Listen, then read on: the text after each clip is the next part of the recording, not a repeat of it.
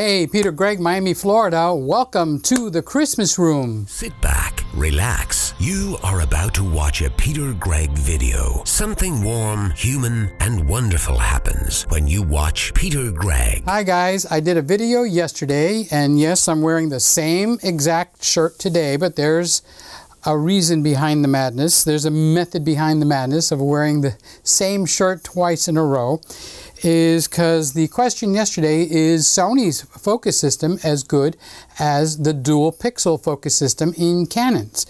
Uh, it's pretty much a given. I mean, you could find a guy here and there that's going to argue with you, but mostly it's a given that it's it's probably one of the best uh, focus systems. So the thing is that Sony has this new camera out called the A7 Mark III which they have the A9, the A7R Mark III, uh, and now the A7 uh, Mark III. There's no R, there's no S. I know a lot of people were waiting for the S to come out. So the focus test that we did yesterday was eh. Uh, it was passable. Um, but a lot of people noticed that there was a lot of inconsistencies happening. So I needed to find out why, all right? And I think I did a couple of guys, um, Smuggles and John Spiron, just to mention two, I wrote the names down, uh, had mentioned uh, interesting suggestions, so I took them to heart. So what did I do to change the focus system from yesterday to today? And you be the judge. Is it any better? Is it any sharper? We're still hitting it hard with an f1.4. I think I'm at f1.4, 1.6, 1.4, 160th of a second shutter speed. ISO 1000. I upped the light a little bit on the ISO from 800, I think, to 1000. Um, and the whole point of the test is can I walk around the room and have it follow me very much like the dual pixel focus. Okay, so some of these things are really small. There's one very major point that I need to make that actually is floating around the internet where people think their cameras are broken and not functioning and I'm wondering if it's possibly one of the things that I've discovered. One of the things is this kind of guy that talks like this, almost like you're back in the home motherland, the country, okay? Now, the camera, uh, which is the Sony, this is the uh, uh, A7R3 that you're watching right now, okay? And we're shooting in 4K with a 50 millimeter 1.4 lens set at either 1.4 or 1.6. I don't remember because it's the dial up there on the top that I moved. So um, uh, this is showing one thing, but I got a feeling we're at 1.6. So let's just say uh, the purpose of that is so that we have a very narrow depth of field. So just by me talking like this, like I'm gonna serve you a spaghetti, or maybe a nice Greek meal, or down here in Miami, uh, you know, those fritas, you know, uh, you know that kind of stuff, the Latin foods. I know the, the desserts, flan and, and stuff like that, and as you can tell, right? And uh, so if you're the type of guy that's going to hold a thing up like this, for instance, even if I hold this up to see if I'm in focus or not, the camera is not doing face detection like the Canon and like the GH5, which can actually do face detection. This is the GH5. Now watch, it's going to lock onto that because that is the closest object that's actually moving. Okay, now when I drop it down to the table, it needs to revert back to me. But because I've got something going on with my hands, it's going to get my hands. It's that accurate, okay? So I got to stop with the uh, gesticulations of my hands, okay? So now, this is, am I conforming to the camera? Is that what I'm doing? No, I'm kind of learning the weakness. Now, the other thing that I do is I like to go over and say hi to Jingles. Today, again, he's not feeling that well, and now I'm a little concerned, but I'm going to walk over here. Now, the camera is supposed to follow me uh, because it's following the closest moving object, unless it's locked onto something. So I'm going to sit and I'm going to have a little conversation with Jingles. Hey, you doing, baby? Hmm? Are you feeling bad today?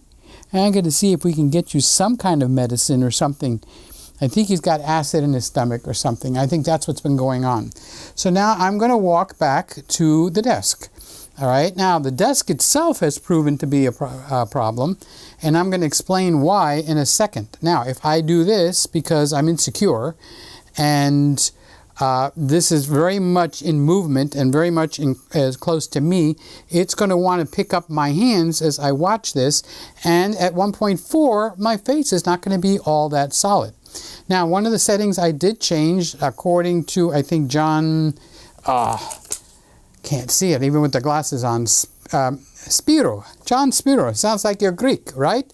Opa, Yasu, okay, I speak Greek, uh, is to change the focus speed down to focus lock, which means if there's not really a whole lot of movement here, like just a little bit of this, it's not going to try to refocus every time.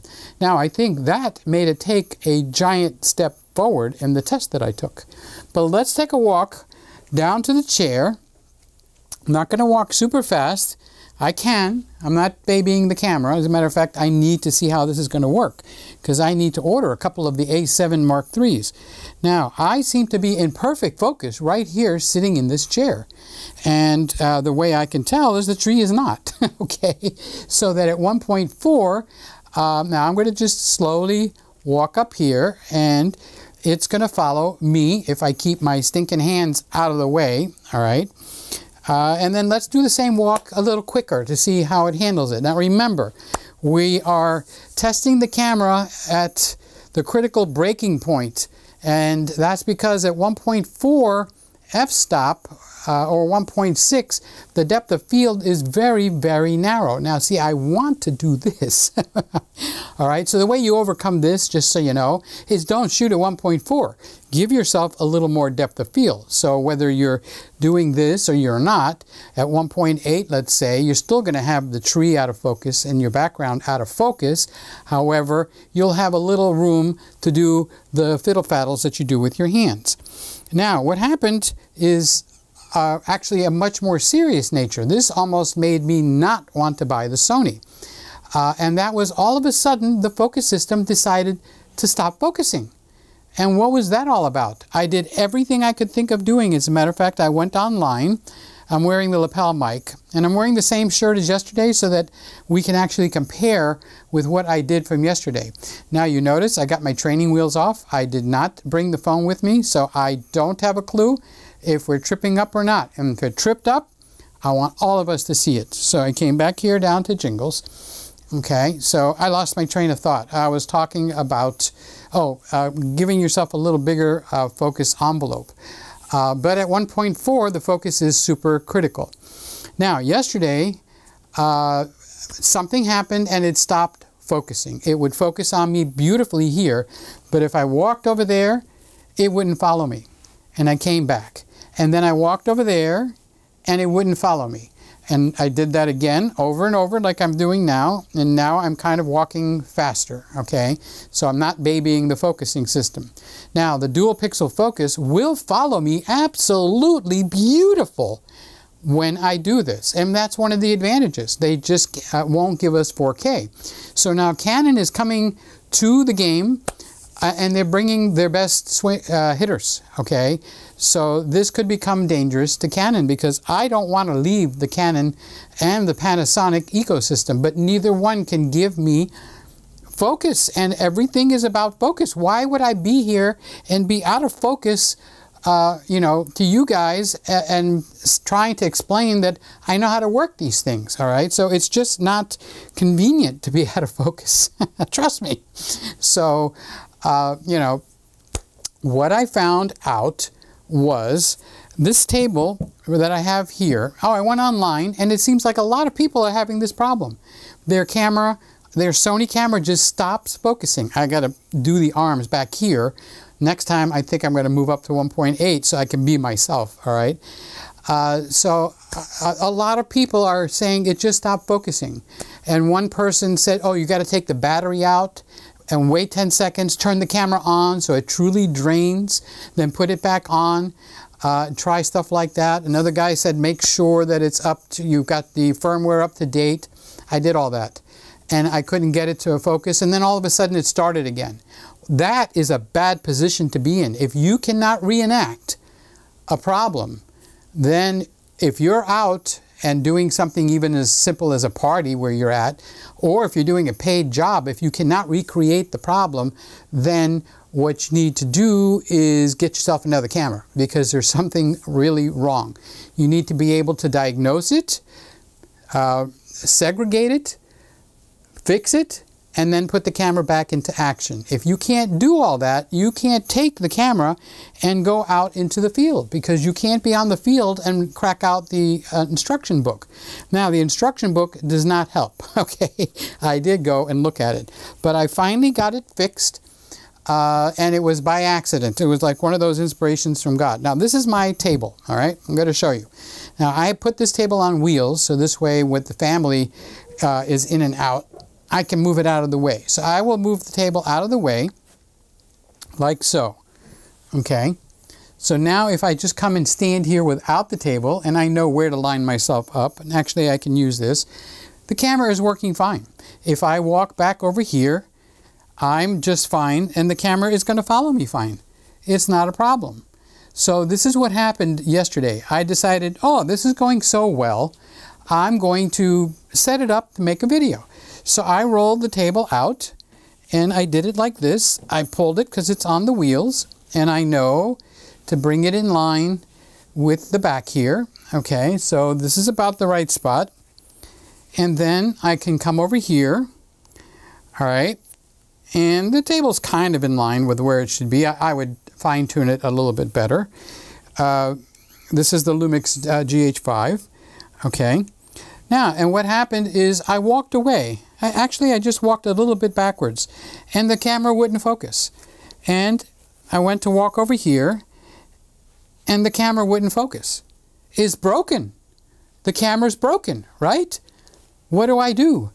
I'm going to come back over here. I'm going to come and check out Jingles, who's sleeping, and I'm annoying him. And the camera's not focusing. However, if I come back up to the desk, the camera focuses. So here's the riddle. What's wrong? Okay, what's wrong is on this screen, if you go higher into the area where focus is grabbed, which is for me about a quarter of an inch, it is not going to move. Doesn't matter what your settings are. Responsive, locked, standard, it doesn't work. Okay? So what you need to do, or what I need to do, is the table needs to come like this. Watch this now. I'm just going to move the table about six inches closer. Okay. Now I'm going to come back in, and now I'm in the under the quarter of an inch on this phone. Okay, on your screen, you can probably take a look and see. All right, so we're not in that wide focus zone. Now, if I take a step back, okay, the camera works. So I reset it. I was going to download the firmware.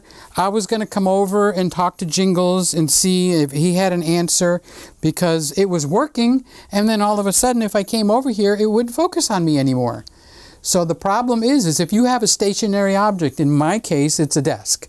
And if it's in far enough to the area where the camera is catching that motion that's happening, See now I'm, I'm naturally putting my hands forward uh, which is going to make the camera want to focus. But I did lower it as you guys told me, uh, John Sputo and Smuggles and a couple of others. I don't want to hurt anybody's feelings. If you mentioned it too, you get the credit.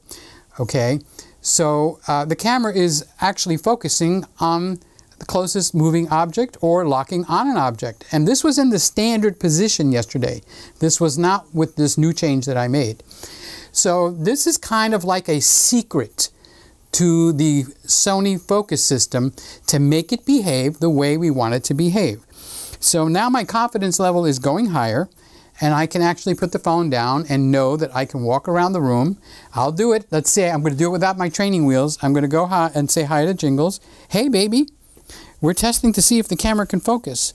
Now, if all goes well, this is actually in focus. And if it doesn't go well, we have a new problem. But my guess is, is that it's going to go well. So now the focus in this video, even if you didn't see yesterday's video, you can rate this. How is the focus quality here? Is it as good as the Canon's dual pixel focus for you now um, or not? For me, uh, from yesterday to today, we took one giant, giant step forward because yesterday I had a little confidence, lack of confidence. I didn't know why it was seemed to be broken. I didn't know why it didn't focus, but now I can reenact it just by pulling the desk in and out like I showed you.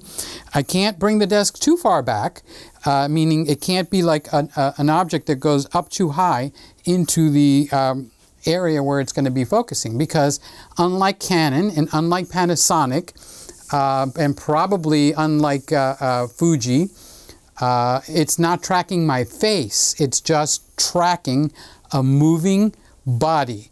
So you heavier guys, you have an advantage. All right. So I think we've taken a big step forward on the Focus because you need to know how to work your stick shift in the car. You can't go from first to fifth unless maybe you got a Corvette and there's enough power to push the car. You've got to go through the gears, first, second, third, fourth, fifth gear, okay? So, uh, you know, understanding how the focus system is working here is going to help us be more confident to buy the camera that you want and not give up as much. So the one thing that you're still going to give up is, of course, the articulating screen. There's ways around it, but I've seen some of you guys have made comments like, no articulating screen, I don't want the camera. And I can sympathize with you, all right? But I can use the phone. I can actually just set the phone down over there, but I can start it and stop it with the phone. So uh, the last thing I wanted to say is I'm getting a lot of comments on why I am not eating uh, the Oreo cookies because I did lose the bet with the uh, Canon M50. I am going to eat the cookies, but it's going to have to be on my special day, which you would call a cheat day, which is Saturday or Sunday. So the camera was announced on Monday. I don't want to break my eating regimen uh, because uh, during the week I stay on a certain style of eating. It's not dieting because if it was dieting, I would break that diet. So Monday through Friday, I eat a certain way. And on Saturday and Sunday, one of those two days gets to be a fun day for me you know so that's when I will eat the Oreo cookies I'll have my ice cream I'll have anything I want on my fun day. So I'm looking forward to my fun day and that's when I'm going to be eating my Oreo cookies. All right that's it. I wanted to update you on the focusing because it's a big thing. Unfortunately I don't think that many people are going to see this video but it certainly helps to understand how to get that Sony focus system to work really close to how the Canon dual pixel focus is going to work.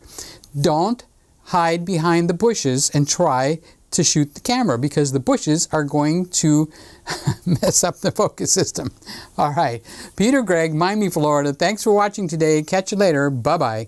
Whoosh. You have just watched another Peter Gregg video. Something warm, human, and wonderful happens when you watch Peter Gregg. Thank you for watching. Description of all equipment used in this video plus any notes Peter took while filming are always placed in the description box, show more box, or down arrow thingy next to the title on mobile apps. Duly noted.